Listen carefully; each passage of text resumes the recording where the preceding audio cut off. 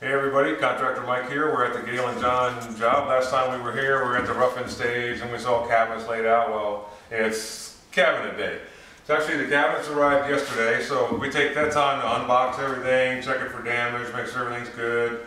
And um, if it's not, then we order what we need to. In this case, it all turned out good. There's no dents, dings, damage. It's all good. So we sort of got them scattered around now. Some install's been done. And uh, really starting to take shape now. They really picked a nice cabinet and uh, a nice shade and tone for the place.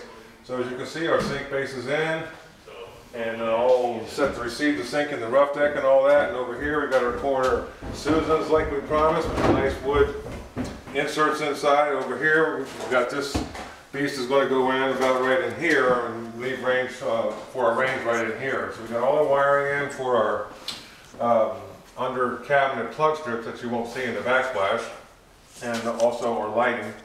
Uh, yes, one minute to lighting.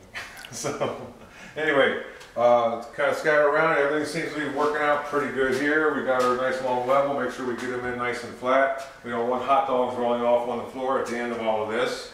So the way it goes, is we're going to get our cabinets all in. Once they're all done, then our floor guy will come, and then he will cut the floor uh, into all the cabinets and stuff. That's always after cabinets is that we do the floor.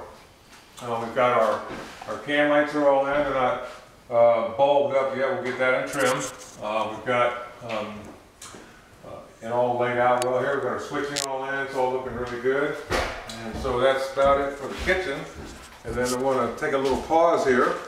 And uh, we're going to go upstairs and check out the bath.